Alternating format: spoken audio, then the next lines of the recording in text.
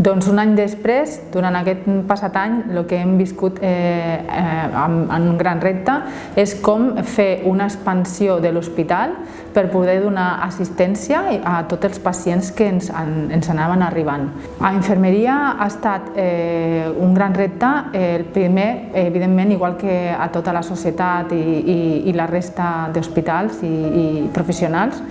el poder donar atenció, l'atenció que es mereixen aquest tipus de pacient que era totalment desconegut per nosaltres i poder eh, modificar i adaptar-nos a, a la nova situació mm, i inclús eh, donant una formació eh, en tota l'expertesa que es pogués assumir eh, a aquests professionals que tenien que eh, poder eh, donar resposta a, a aquests pacients doncs d'aquí un any ho veig en un missatge molt positiu. El que veig és en, un, en, en una, eh, uns pacients residuals de Covid, però que el Covid pues, ho tindrem aquí durant, durant sempre, no? igual que tenim la grip o tenim un altres, altres malalties eh, víriques, però eh, intento veure, veure de manera molt positiva en què eh, ja ho tindrem eh, més controlat perquè tindrem un volum important de la població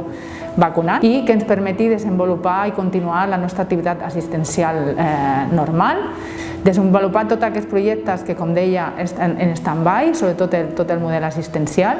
i de cara a la població, eh, important que tot això no se'ns oblidi, que aprenem de, totes les, eh, de tot el que, lo que hem viscut. Eh, penso que n'hi haurà coses que haurien de quedar, eh, com per exemple la utilització de la mascareta i totes les mesures higièniques de cara eh, precisament a la protecció d'altres virus que estan entre nosaltres i sempre, sempre hi són. Eh, també pensar en aprofitar molt més el temps lliure que tampoc hem tingut aquests mesos i que la societat ara eh, el viu com més intensament, no? aprofitar les coses petites.